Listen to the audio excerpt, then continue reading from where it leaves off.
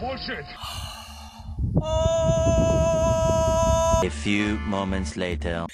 My dear, simply raising your eyebrow to the next situation at hand and whatever you want to see in dimensionality, understanding manifestation, earth upon life, and Jesus upon grace. Uh, many of religious structures are falling down as you see governmental agencies and the like, bringing forth such a presence of God here upon earth has never been seen before. Simply, it is, you know, neither here nor there. If you haven't seen this act before, all she's doing is just the common channeling act of basically making a noise.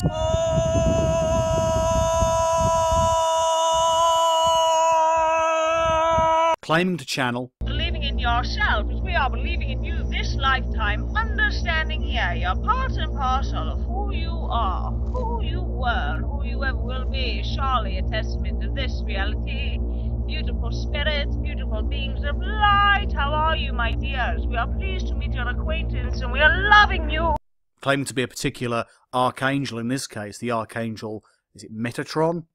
And from there, giving out a bunch of extremely general predictions. But reaching beyond the human, reaching beyond the physical self, pop out of the universal structure you call planet Earth, go into the consciousness of one God structure. That's it.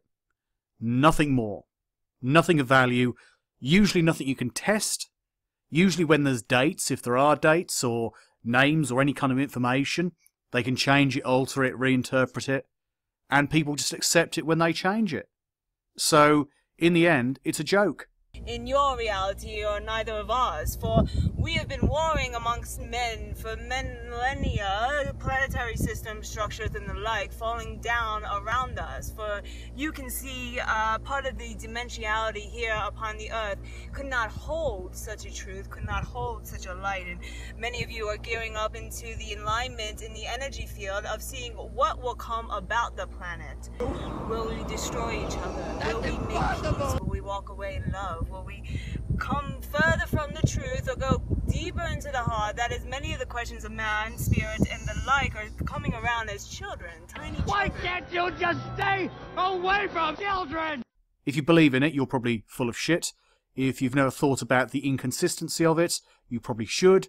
And if you're a person who's never examined this kind of thing and you're considering looking into it, I would be very skeptical if I was you.